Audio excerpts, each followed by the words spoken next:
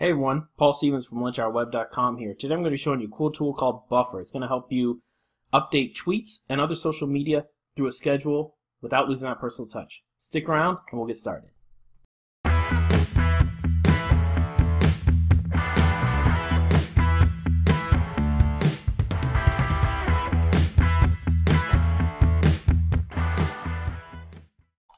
Alright, to get started, we're going to jump over to a website called Buffer. I'm just going to search for this on Google, but I'll leave a link in the video description below. You can also check it out on the website, lunchhourweb.com. I'll leave a link for it over there as well. But Buffer is a, as they say, a smarter way to share on social media. It's going to save you time by scheduling tweets or posts or updates on Pinterest, Twitter, Facebook, Instagram, Google+, and LinkedIn. As you know, as you've been watching my video series, I've only started focusing on Twitter for now, but that may change, especially if I can use some tool like this. I may branch out into these other social media platforms as well. There's a lot more to learn about Buffer. Excuse me. There's a lot more to learn about Buffer. If you look at their website, you can look at their products, pricing, and so on.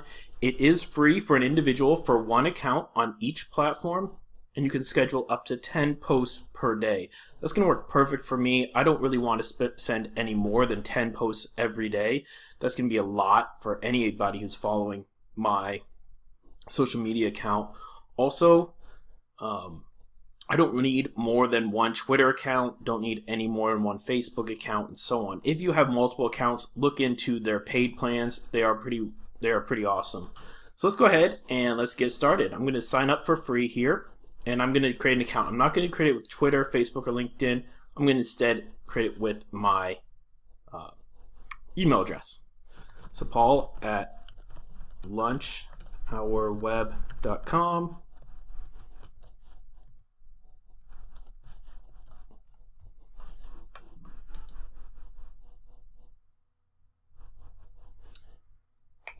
And we're, so you'll see we're logged in. So next I'm going to log into my social media account. I'm going to start with Twitter. And it's going to ask for auth Buffer to authorize my account. I did forget that uh, there is an app out there as well. So if you look up this, there is a smartphone app you can download and it'll help you use this service as well.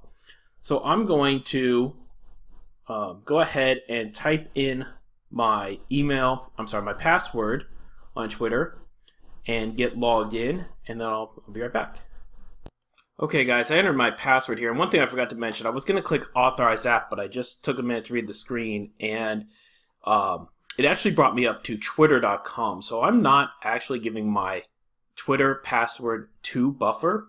I am just logging in to Twitter, authorizing Buffer to use Twitter to tweet on my behalf. So you'll see it says this application, meaning Buffer, will be able to read tweets from my timeline, see who I follow and people who follow me, update your profile, so I'll be able to change my uh, username, not my username, oh, it'll change my description about my Twitter profile and be able to post tweets for me. And that's what I wanted to do. I wanted to post tweets. It will not be able to see my direct messages. So I have any direct messages going back and forth between people. It will not be able to see that and it will not be able to see my Twitter password. That's great. I can always, going to Twitter settings, I can always turn off this app at any time as well. So I'm going to go ahead and authorize the app. Great. Let's go ahead and not save my password. All right. So now it is, uh, let's go ahead. It should have brought me back to buffer, but let's go ahead and authorize app again. There we go. Now we're back to buffer. And I'm not going to add a second social media account right now. I'm just going to stick with Twitter. So I'll go ahead and skip this. And we're going to get post scheduled at the right times of day. I am Chicago Central Time Zone, that is Chicago America Time Zone, AM PM. So we're going to go to the next step. And we can help discover the best time. So this is the option question is giving here. I can set what times of day I want Buffer to schedule posts for me, or I can allow it to set optimal times. I'm going to choose this optimal times. What it's going to do is going to go back and read about the last 100 or so Twitter messages that I have posted, and see which one of those have gotten the most interaction. It's going to keep doing that. So as time goes on, it's going to find the best times of day. Hey, my followers, the people who follow me on Twitter, tend to interact with me more at 3 o'clock in the afternoon. It's going to know to post a send a tweet at that time. If it sends a tweet at 5 o'clock in the morning and I get absolutely nobody seeing it, it knows that that's not a good time. And it's going to take my best times based on my history. It's also going to choose some random times throughout the day as well, just to test out new times and see if they work better. So I'm going to do that, find my optimal times. And I'm going to say number of times of posts each day. For now, let's leave it at 5. Uh, you can go up to 10, 16 times per day. It says number 5. It left at 5. I can change this. All right. My five optimal posting times are at around 11:57 a.m. the start of my lunch hour. That's great. 3:28 p.m., 9:11. It just found some different times. Found my engagement ranks best right around between 9:30 and noon. That's kind of neat.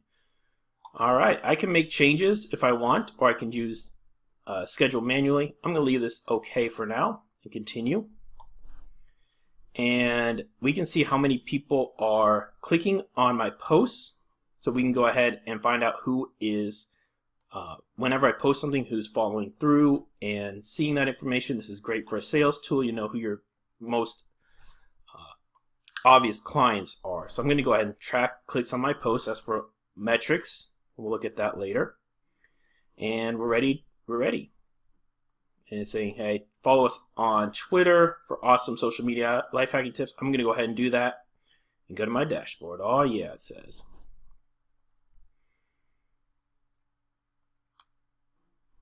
All right, so it looks like it's going to give us a little special promotional item if we start right away. Have a week on the awesome plan. That's going to allow us to connect up to 10 social media accounts. I don't have 10 yet. Schedule 100 posts per social account. I don't know if I'm going to post that far ahead. 10 per day seems plenty for me. I can get up in the morning, just think of 10 uh, things I want to tweet about throughout the day and let that happen. And manage everything with a social media calendar. They, they've added seven days of credit to my account. Uh, i am going to say no thanks right now because I don't want to sign up for the awesome plan. But hey, later time, I may want to do that. All right, so now what you'll notice is we are brought up to our dashboard. So it has your accounts over here. I can connect other accounts, Instagram, Facebook. I can also add up to um, uh, Google Plus, LinkedIn. I thought there was an yeah Instagram over here. I may do that later as well. I'm not going to worry about that for now. Um, download links to the App Store or the Google Play Store. Again, you can just look that up. I'm going to be downloading that after this video as well and, and trying some posts from there. I have a queue, and what this is going to allow me to do is uh, post anything. Just posted my first tweet using hashtag buffer. And I wonder if it's at buffer. There we go.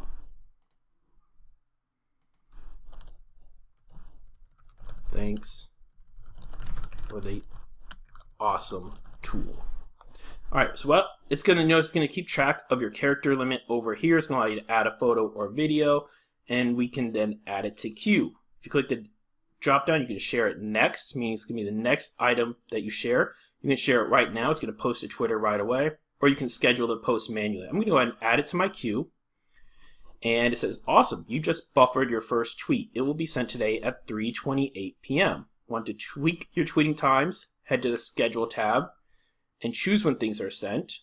And I can change schedule or say, great, 3.28 p.m. sounds great. And you'll notice I can add another one, say, um, just finished making a video, let's say hashtag video, on how to streamline, automate your Twitter. Is Twitter posts or Twitter tweets? Does that sound I'm to say post. Twitter tweet sounds a little redundant there. And I can add to queue. And if I add that next, it's going to go in place of that first tweet in my queue. I can share now, or I can just add to queue, which means it's going to be added after my original tweet. So let's go back to the queue. See, it starts at 3:28 p.m. The next one's uh, 9:11 p.m. this afternoon. I can edit, delete, uh, shuffle, which I assume just mixes those around in random order. I can go to my calendar tab as well. And obviously I need to have the awesome plan for that, so I'm not going to worry about that. Over here on for review, uh, you can collaborate with your team if you have multiple team members posting stuff. You can review tweets and, and other social media updates. Again, I don't have a team, not going to be worried about that for now. And content inbox, curate your content inbox on the awesome plan. So again, you're going to have to upgrade to awesome. You can view multiple feeds. But what this looks like to me is you can have RSS feeds and it's going to put them all in here and you can quickly just tweet out or add to your buffer different articles and stuff that come across your RSS feed. That sounds like a really cool thing. I'm not going to worry about that right now, but hey, I might at some point in the future. Over here on the analytics is going to uh, bring up which posts that have gone through buffer have been most recent, most popular, least possible popular, and all po posts. Excuse me. And none of that's come in here yet. I may have a recap video here, maybe in a week or two weeks or in a month, if you guys want, and I can show you some of these analytics more, and we can look at um, some of that more in detail. Over here in my schedule tab, I can choose when I want things to schedule. So this is when the buffer said these are my optimal times for posting. So I'll leave them as they are for now. I believe in the awesome plan you can make that change per day.